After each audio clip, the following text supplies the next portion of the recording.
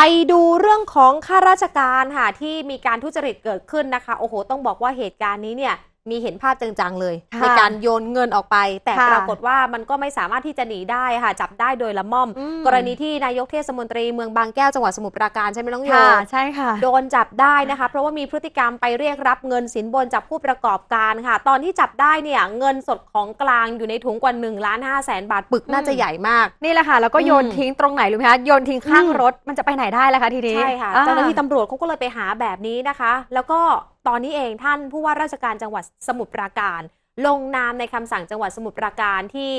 5959ทับ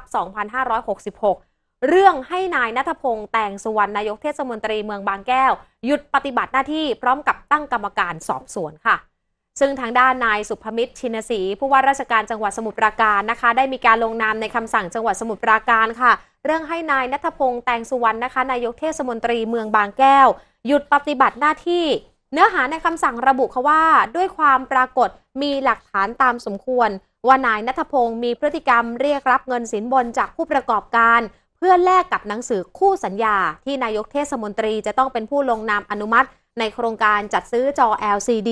อันเป็นการปฏิบัติการไม่ชอบด้วยอำนาจหน้าที่ตามมาตรา 73 แห่งพระราชบัญญัติเทศบาล พุทธศักราช 2496 แก้ไขเพิ่มเติมถึงฉบับที่ 14 พุทธศักราช 2562 และผู้ว่าราชการจังหวัดสมุทรปราการ ได้มีคำสั่งแต่งตั้งคณะกรรมการสอบสวนในกรณีดังกล่าวนี้แล้ว เพื่อมิให้เกิดความเสียหายแก่เทศบาลเมืองบางแก้ว จึงให้นายนัทพงศ์หยุดปฏิบัติหน้าที่เพื่อรอฟังการสอบสวน หากประสงค์จะโต้แย้งคำสั่ง ให้ยื่นอุทธรณ์ต่อผู้ว่าราชการจังหวัดสมุทรปราการภายใน 15 วันนับตั้งแต่วันที่ได้รับคำสั่งนี้ นอกจากนี้ได้มีคำสั่งในการแต่งตั้งคณะกรรมการสอบสวนดำเนินการสอบสวนตามหลักเกณฑ์ขั้นตอน และวิธีการที่กกระทรวงการสอบสวนผู้ดำรงตำแหน่งบางตำแหน่งในเทศบาลพุทธศักราช 2563 กำหนดแล้วจัดทำความเห็นโดยสรุปข้อเท็จจริง และข้อกฎหมายให้ครบถ้วนทุกประเด็น พร้อมความเห็นว่าผู้ถูกกล่าวหากระทำความผิดหรือต้องพ้นจากตำแหน่งหรือไม่ มีพยานหลักฐานใดสนับสนุนแล้ว เสนอรายงานผลการสอบสวน พร้อมทั้งสำนวนการสอบสวนต่อผู้ว่าราชการจังหวัดสมุทรปราการเพื่อพิจารณาต่อไปค่ะ อืม